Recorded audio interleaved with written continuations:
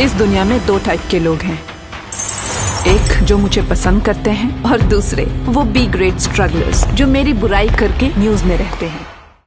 नमस्कार Indian news में आपका स्वागत है। Salman Khan hosted big boss तो आपने देखा ही होगा। उसी बिग बॉस के तर्ज पर कंगना रनावत और अल्ट बालाजी ने एक शो को लॉन्च किया है, जिसका नाम रखा है लॉकअप मेकर ने बिग बॉस के कंसेप्ट पर आधारित शो होने का खंडन किया है। कंगना रनावत का यह शो लॉकअप दर्शकों को काफ़ी पसंद आ रहा है। जेलर और कैदी के कंसेप्ट पर बने इस शो में अभी तक कंटेस्टेंट मनोरंजन करने में कामयाब रहे हैं। जितने भी कैदी है, कंगना के जेल में बंद है। इसके लिए उन्हें मेकर सरकार की ओर से भारी भरकम फ़ीस मिल रही है। चलिए बताते हैं कंगना सहित कंटेस्टेंट कितना चार्ज कर रहे हैं। बॉलीवुड की क्वीन कहलाने वाली और हमेशा विवादों में घिरी रहने वाली कंगना रनावत का फ़ीस भी करोड़ों में है। रिपोर्ट के मुताबिक कंगना एक एपिसोड के लिए एक करोड़ रूपए ले रही है। पूरे शो के लिए उनकी कुल फ़ीस पच्चीस करोड़ रूपए बताई गई है। वही शो में हिंदू सेंटीमेंट को आहत करके चर्चा में आए हुए मुन्नवर फारूकी भी छाए हुए हैं। एक रिपोर्ट के अनुसार कॉमेडियन को एक हफ़्ते के लिए तीन से साढ़े तीन लाख रूपए फ़ीस मिल रही है। है।